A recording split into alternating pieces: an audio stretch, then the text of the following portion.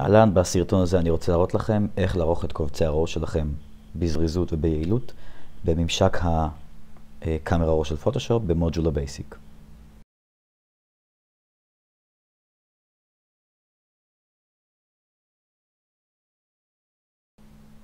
אוקיי, אז דבר ראשון שאנחנו צריכים לעשות כשאנחנו פותחים את קובץ ה Raw שלנו בממשק הזה, זה לבצע הידוק של הקומפוזיציה. את זה אנחנו נעשה על ידי כלי ה crop, ונחתוך החוצה בעצם חלקים שלא רצויים לנו בתמונה. אוקיי. זה בערך החיתוך שלי. אני יכול לאשר ב-Enter, או לבחור פשוט כלי אחר, כמו כלי היד. הדבר הבא שאני צריך לעשות זה לטפל ב-White Balance באיזון הלבן בתמונה, במידה ויש איתו איזושהי בעייתיות. אז ה-White Balance מאפשר לי פה לבחור מהתפריט הנשלף שלו, הגדרות uh, White Balance שדי דומות למה שיש לנו במצלמה. אז ככה אמנם צולמה התמונה, וזה היה במקום uh, מוצל, אז אני אבחר מה-White Balance את ה-Shade, אנחנו נראה שהמצלמה, התוכנה עשתה את ההתאמות. דרך נוספת, זה לקחת את כלי ה-White Balance שנמצא פה למעלה, ולהצביע, להקליק על משהו שהיה לבן בעולם האמיתי במציאות, למשל כמו הגרפיטי הזה שבלבן, לחיצה עליו, ואנחנו נקבל תיקון של הצבעוניות בהתאם לאותה נקודה. עכשיו, במידה ולא הצלחתם להגיע לצבעוניות שאתם רוצים לאיזון הלבן אה, על ידי התפריט שכאן, או על ידי הפיפטה, הטפטפת הזו, אפשר כמובן להשתמש פה במכוונים של temperature ולקרר או לחמם את התמונה, ובצורה הזאת לדייק ולהגיע למה שאנחנו רוצים. אפשר להזיז את המכוון, או אפילו להקליק פה ולהכניס את הערכים שאתם רוצים. וזה נראה בסדר גמור. tint uh, עוזר לנו במידה ויש איזשהו גוון ורדרד או ירקרק בתמונה, לעדן אותו, פשוט על ידי גרירה של המכוון, יותר לכיוון uh, ורדרד אם אנחנו צריכים להוריד ירוקים, ולהפך לכיוון הירוקים אם צריכים להוריד את המג'נטה טיפה שיש. זה נראה בסדר. אוקיי, אז בעצם עשינו crop uh, וטיפלנו ב white balance. הדבר הבא שיש לנו לעשות זה לטפל בחשיפה, בבהירות בעצם של התמונה, בניגודיות וכולי. ואת זה נעשה בקלות על ידי ה exposure. כשאני מרים exposure, אני בעצם אה, מעלה את, הבהירות של התמונה, בכל התמונה, זה בעצם חשיפה. זה נראה בסדר. הדבר הבא היה ניגודיות. תמונות שהן קונטרסטיות מדי, אני אוריד את הניגודיות, וככה אוכל לקבל יותר גוונים אה, אה, בטווחי הביניים. אם אני מעלה את הניגודיות, אני בעצם הופך את התמונה לקונטרסטית יותר, מה שאומר יש יותר בהירים, יותר כהים, וגווני הביניים קצת נעלמים. אגב, דאבל קליק על המכוון, מאפס אותו, מביא אותו לנקודת הברירת מחדל שלו. אז במקרה הזה אני אנסה, אני אנסה קצת, קצת, קצת להוריד את הניגודיות, ואולי ככה להצליח אה, להוציא קצת מגווני הביניים בסצנה הזו. אוקיי, זה נראה בסדר. הדבר הבא הוא ה-highlights. ה-highlights מתייחס לאזורים הבהירים ביותר בתמונה ומשפיע רק עליהם, בניגוד לאקספוז'ר שמשפיע על כל הבהירות והכהות בתמונה. אז ה-highlights במקרה הזה, האזורים הכי בהירים זה העננים והשמיים פה, אולי גם קצת הבניינים. ולכן כשאני אה, אקח את ה-highlights וטיפה אוריד אותו, אפשר לראות שאני בעצם מקבל יותר פרטים באזור הבהיר ביותר, במקרה הזה זה השמיים והעננים, ויכול קצת ככה לקבל עוד אה, פרטים בעננים, בשמיים. ואפילו במבנים. אוקיי, אז זה מה שעושה ה-highlights. ה-shadows, לעומת זאת, עושה את אותו הדבר, רק אחרת, הוא פועל רק על האזורים הכהים בתמונה, ומבהיר אותם או מכה אותם, תלוי בצרכים שלנו. אז פה למשל אני אנסה להבהיר טיפה את האזורים הכהים בתמונה על ידי גרירה של מכוון ה-shadows ימינה. אפשר לראות שהוא משפיע על הפינות הכהות בתמונה ככה, וכן, זה נראה בסדר. אוקיי.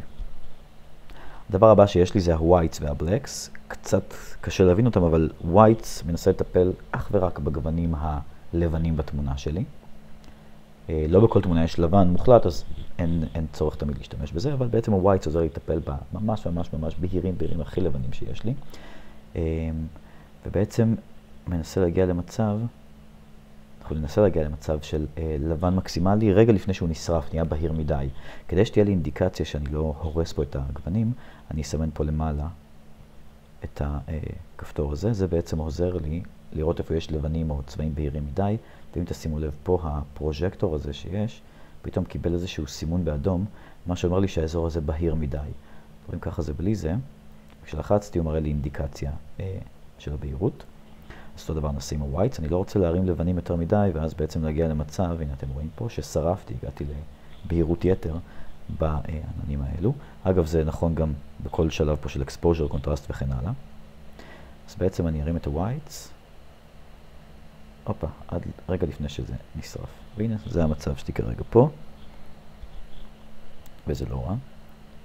ה blacks עושה אותו הדבר, לפעמים כשאני מבהיר תמונה או מקהה אותה מדי, אז אם אני מבהיר תמונה, האזורים הכהים בתמונה שאמורים להיות שחורים, לפעמים נהיים קצת אה, דלוחים או נהיים אפורים כאלה, לא באמת אה, שחור עמוק. במקרה הזה אני אוכל להשתמש בבלקס. אה, אם אני מרים בלקס, אז אני בעצם מקבל בהירות באזורים השחורים, ואם אני מוריד בלק, אני יכול ככה להעמיק את הצבע השחור בתמונה, את הדברים השחורים בתמונה, ולקבל אותה נכונה. אגב, אם אני שם יותר מדי שחור, אני עלול לקבל איזה אזורים שנהיו שחורים אטומים לגמרי. אינדיקציה על זה, על אזורים קהים, אני יכול פשוט ללחוץ כאן. הופה. אתם רואים כל מה שבכחול פה כרגע שחור מוחלט, שחור ללא פרטים. בואו רגע נעשה דאבל קליק. ולבד נעמיק את זה, הנה. פה אני בסדר, כאן יש אזור שהוא קצת מוחלט, אה, שחור מוחלט, אבל זה לא מפריע לי, זה מתאים לתמונה וזה בסדר. אז לגבי ה-whites וה-blacks, בעצם בצורה הזאת טיפלנו בבהירות, בחשיפה של התמונה הזו. אה, דברים נוספים שיש לי כאן זה ה-clarity שאתם רואים פה. ה-clarity מאוד עוזר לי אה, להעלות מיקרו-קונטרסט בתמונה. בעצם עוזר לי להעלות קונטרסט בקווי מתאר של התמונה, וככה בעצם נותן לי תחושה של חדות יותר בתמונה. זה לא חידוד, אבל בואו נראה איך זה עושה. בשביל זה אני אעבור לתצוגה של 100%. אוקיי, אפשר לראות פה את הרשת, את הטקסטורה פה של המבנה המתקלף והרשת ששמו עליו, ואת המבנה של הלבנים פה. ואם אני מרים את הקלריטי, תסתכלו מה קורה להם. שמתם לב איך הם נהיו יותר מודגשים? שימו לב, זה בלי קלריטי, וזה עם. צריכים להיזהר לא להגביר מדי, כי לפעמים זה נראה מלאכותי מדי. בואו נראה איך זה נראה ככה. זה בלי קלריטי, וזה עם הגברה שלו. אז זה נראה טוב, אבל זה קצת יותר מדי. בואו ננסה טיפה לאזן את זה. אוקיי, זה נראה לי בסדר. הדבר הבא שיש לי כאן זה Vibrance ו-Saturation. כשאני דולג רגע על ה-Vibrance, זה רוויה של צבע. כשאני מרים את הרוויה, כל הצבעים הופכים להיות רבועים יותר. כשאני מוריד את זה, כל הצבעים מורידים, אה, יורד, כמות הרוויה שלהם יורדת. Vibrance עושה אותו הדבר, אבל הוא פועל קודם כל על צבעים שלא רבועים ומגביר אותם, ורק אחר כך על גוונים רוויים יותר. אה, פה פחות רואים את זה בדוגמה הזו, כי זה פחות אה, רלוונטי לזה. אבל למשל, אם נסתכל על התמונה הזאת, נוכל לראות שאם אני מרים saturation, משהו כמו 50, אז הוא מוסיף רוויה לכל הגוונים בתמונה. אני בסך הכל רציתי לחזק את הגוון טיפה של השמיים. בואו רגע נאפס את זה, double click. ואם אני משתמש פה ב vibrance ומרים, שימו לב, הוא מוסיף רוויה לשמיים, וכמעט לא נוגע בשאר האזורים. אוקיי, אז זה בעצם ההבדל המהותי בין vibrance אה, ל saturation. ש saturation מוסיף רוויה לכל התמונה, לכל הצבעים בצורה אחידה, ו vibrance קודם כל אה, מוסיף רוויה לגוונים הפחות רוויים. אגב, vibrance, אחד הדברים שהוא נמנע מהם, זה להגביר רוויה בצבעים שמזכירים גוון של עור, skin tone. בצורה הזאת זה יעיל יותר לפורטרטים. אז חזרנו בעצם לתמונה שלנו. וכן, אה, בכל זאת אולי נרים לה קצת את ה saturation, נחזק טיפה את הצבעים. במקרה הזה אני ארים גם vibrance קצת.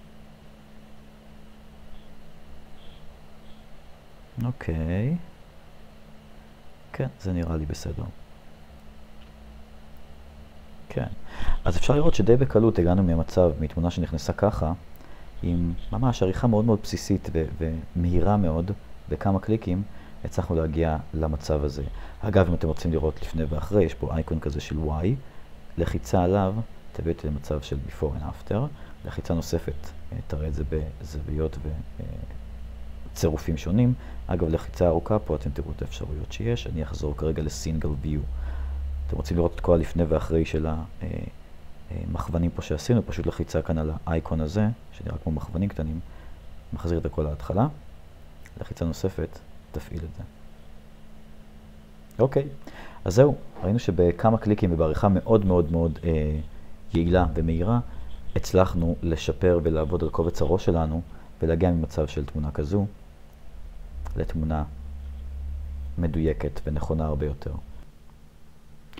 אוקיי, אז בשביל לשמור את התמונה שערכתם אה, מקובץ RAW לקובץ סטנדרטי כמו JPEG, מה שנצטרך לעשות מהחלון הזה, ללחוץ על Save Image.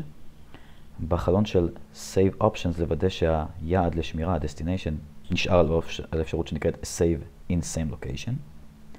אה, ככה הוא ישמור את זה באותו המקום שבו נמצא קובץ הרוב ולא נצטרך להתחיל לחפש את זה.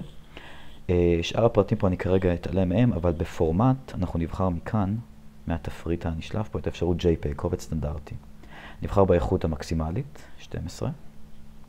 אה, color Space, לוודא שרשום פה sRGB, זה פורמט שמתאים, פורמט צבע, פרופיל צבע שמתאים על הרשת, הדפסה בחנויות כאלה ואחרות, אז לשלב הזה זה מתאים. ב-Resize נוודא שלא מסומן כלום.